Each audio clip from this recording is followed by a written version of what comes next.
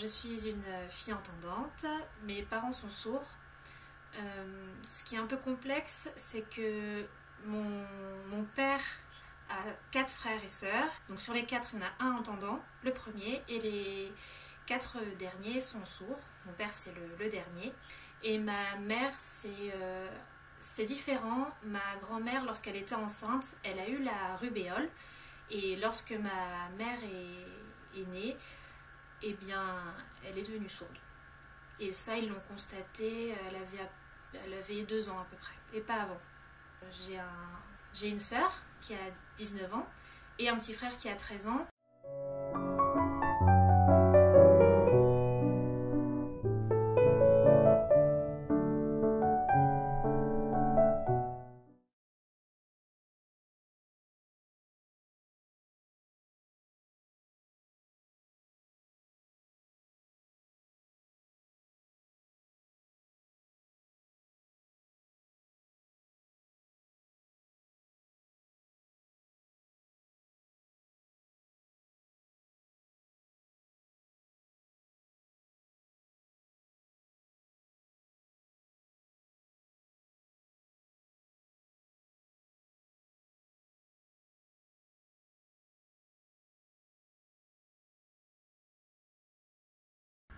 Ils avaient peut-être une appréhension parce qu'ils se sont dit que si l'enfant était sourd, sachant qu'ils savent très bien ce qu'ils ont vécu, ils avaient un peu peur que l'enfant. Euh, ils avaient peur que ça se reproduise aussi avec l'enfant et que ça serait un peu compliqué. Euh, un enfant entendant, ça ne, ça ne les aurait pas dérangés, mais sachant que je suis la première de la famille, c'est vrai que ça a été euh, pas une angoisse, mais peut-être une petite inquiétude en se disant bah zut, euh, comment on va faire? Comment elle va apprendre à parler? Si nous on ne parle pas Comment comment réussir à l'intégrer dans la société? Comment beaucoup de questions, beaucoup de beaucoup d'interrogations. C'est surtout ça leur appréhension. Mais sinon, euh, c'était surtout une maman, je pense, et ces interrogations, c'était plutôt comment je fais, comment je vais la nourrir, qu'est-ce que, comment je fais si elle pleure? Voilà, c'est vraiment tout un système. Euh, enfin, je pense que c'est plus euh, une maman qu'une maman sourde.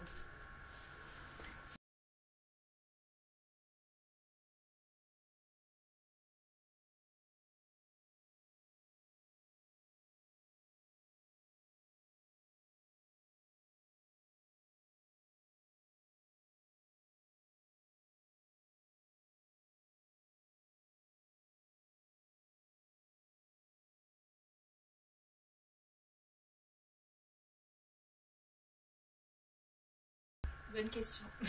ouais. Assez tard. Je devais avoir 6 euh, ou 7 ans. Et euh, je me rappelle, une fois, je suis rentrée à la maison, je vois ma maman qui fait la vaisselle, et je commence à lui parler, à lui raconter ma vie. Je lui dis, ah, regarde ce que j'ai fait, regarde, ah, puis ça s'est bien passé. Et puis ma maman qui me regarde, et qui sourit, et qui acquiesce comme ça. Et je me suis dit, c'est bizarre.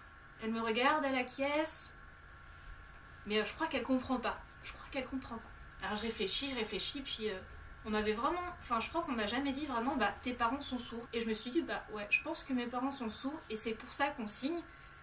Et c'est de là que j'ai commencé un peu à, les tester, voir si vraiment ils étaient sourds ou si c'était une blague. Alors à, taper dans les mains euh, quand, euh, quand on mangeait pour voir si euh, ils allaient réagir ou, à crier très fort leur prénom pour savoir si, si ils allaient me répondre ou des petites choses comme ça. Et puis bah j'en ai conclu qu'ils étaient sourds.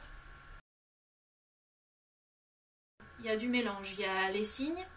Euh, parfois ils parlent parce qu'ils euh, ne connaissent pas le signe. Ou parfois quand c'est un, mot qui est répétitif, qu'on utilise souvent, on va lui attribuer un, un signe. Parce qu'on se dit, bah comme ça, c'est un code en fait. Comme ça, on se dit, bah comme ça, nous on se comprend.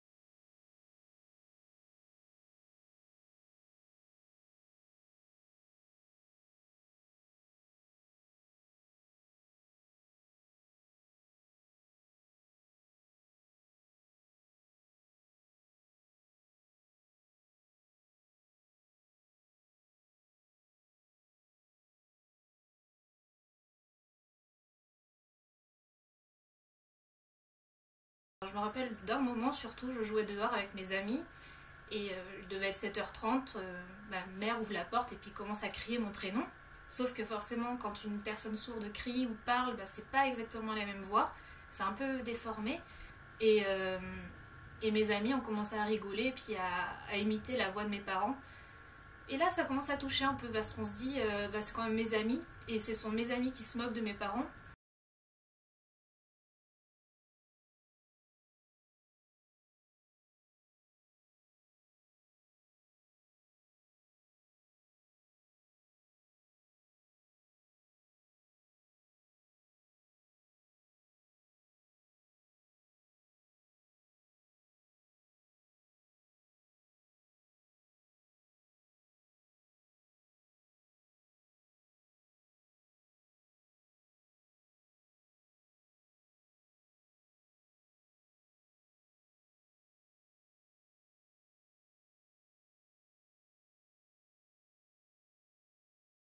Mon père qui passe l'aspirateur le matin, 8h du matin, il passe l'aspirateur, nous on regarde Scooby-Doo, tout ce qu'on a envie c'est de regarder la télé et de d'être calme, de prendre son petit déjeuner avec ses chocs à pic tranquillement. Et là, mon papa qui passe aspirateur. Et nous, tout ce qu'on a envie de faire, c'est euh, de lui demander d'arrêter. Bah forcément, lui, non, en frénésie de ménage, là, hop, il faut y aller. Et euh, bon, on se dit, bah tiens, viens, on débranche. Ça se trouve, il saura pas. Et voilà, donc il y a la prise à côté, hop, on débranche, on attend, et on voit notre père passer comme ça, sans son, sans rien. Mais euh, nous on était bien parce que forcément, regarder Scooby-Doo, on était tranquille. Et mon papa qui continue, voilà, pendant au moins peut-être 5-10 minutes à, à passer l'aspi alors que ça fonctionne plus. Et puis euh, bah, forcément, ça nous fait rire, mais euh, dès qu'il l'a su, forcément, on a dû courir vite dans nos chambres. Moi, les souvenirs qui me reviennent le plus, ce sont des souvenirs de famille et pas en lien avec la surdité parce que forcément c'est pas ça qui me, vient à l'esprit de suite. C'est surtout les, les campings quand on est en famille au resto quand on rigole ou à table quand euh, euh, quand on fait des bras de fer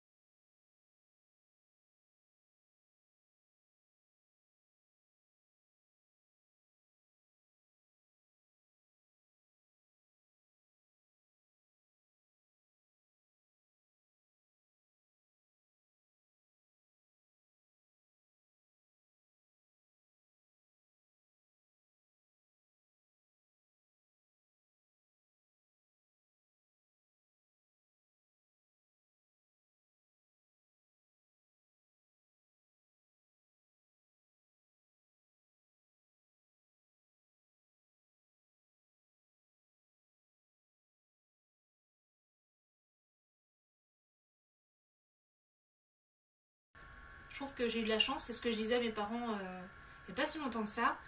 Euh, D'accord, mes parents sont sourds, mais euh, j'ai toujours été. Euh, on m'a toujours fait plaisir, on a eu des voyages, on a eu des colonies, on a eu, on a eu des vacances. Tous les ans, on va en vacances ensemble. vraiment, on a des cadeaux à Noël. Et c'est ce genre de choses qui me, qui me rappellent que bah, j'ai une famille déjà et que même si euh, ils sont sourds, bah, au final, euh, euh, quand je vois d'autres familles, des parents séparés ou avec un manque financier ou, des, problèmes beaucoup plus graves, je me dis être sourd c'est pas non plus ce qu'il y a de plus, compliqué. C'est pas c'est une langue, c'est une culture. Je pense qu'on se nourrit de, de cela.